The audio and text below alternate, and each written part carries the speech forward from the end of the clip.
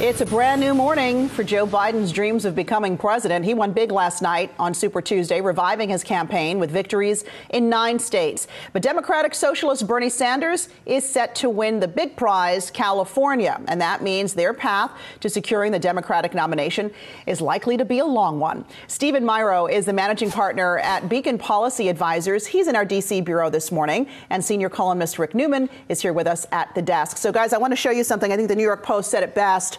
He's alive, right? Joe Biden back resuscitated back from the dead. Stephen, what happened over the past week? I mean, just a week ago, Bernie Sanders was the man to beat in this race. What has happened to make things turn and the momentum shift to Biden?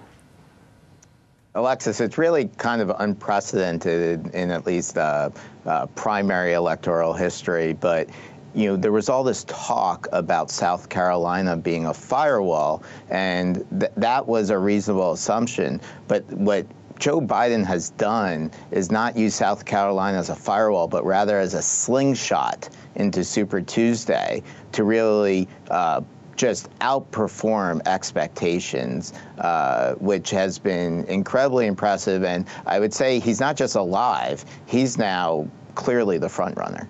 Stephen, do you think Mike Bloomberg will drop out shortly? Well, that's a good question. I, I think so. I, we, we already saw some uh, stories being put into place um, in various places yesterday where Kevin Sheekey, who's his political you know, campaign manager and kind of his long-term political consigliere, is, is kind of a, a, a, a smooth operator. And you already saw the hints being placed yesterday. So um, it seems to be that uh, that would be the likely case. And Rick, how about embarrassment for, for Senator Warren? Couldn't even carry her own state of Massachusetts coming in third. How much longer is she going to be in this race?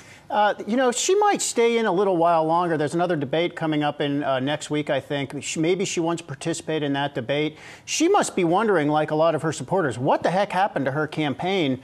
Uh, and we've been talking about this in the newsroom. I think Elizabeth Warren just ended up too close to Bernie Sanders in terms of policy, and I, I, she just really didn't uh, make herself distinctive next to Bernie Sanders, I think. So it's almost as if she's in his shadow, and he's been the one carrying the progressive mantle for so many years, uh, including 2016. And she just seems like she's kind of saying the same thing. I don't, th- I just don't think she stood out. But to come in third in her home state, which were, by the way, big surprise that Biden won Massachusetts, also Minnesota.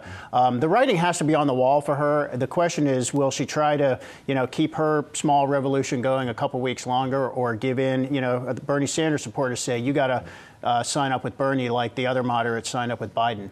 Rick, why do you think uh, just switching to the market a little bit, why does the market seem to like a Joe Biden presidency? Is it just that Sanders won't beat Trump? There's a lot to disentangle in the markets. I mean, obviously, markets are a lot more concerned about coronavirus and are we going to have a global recession and a U.S. recession right now? Uh, I heard, I, I, like somebody last week said the, the, what we saw with the markets plunging, uh, the sort of Bernie Sanders ascendancy and the probability of a Bernie Sanders presidency was an accelerant to the uh, selling last week. Mm-hmm. And maybe now uh, that accelerant has sort of burned off, and maybe we don't have to contend with the idea of a Bernie Sanders presidency. But the thing with Bernie Sanders is the more when it would seem more likely he would be the nominee, um, then it seemed more likely Trump would actually win. So it was hard to you know do that calculus. And I would actually ask Stephen Myrow, um, given what we've seen in the last 72 hours, Stephen, what do you what's what's your best guess about whether Trump will win re-election?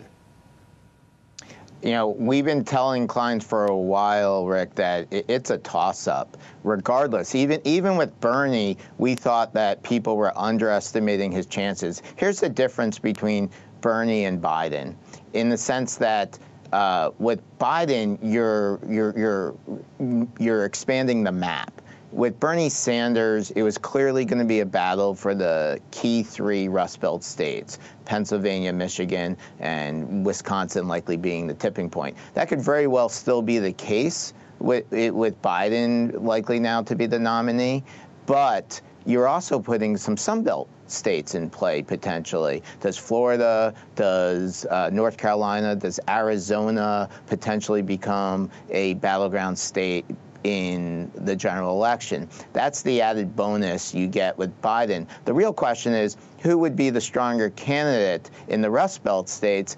I'm not necessarily convinced that it's Biden over uh, uh, over Sanders, but you know we're going to see Michigan coming up in uh, I believe it's in a week from yesterday, and you know Biden could be putting a lot of people's concerns to rest there if he beats Sanders in Michigan.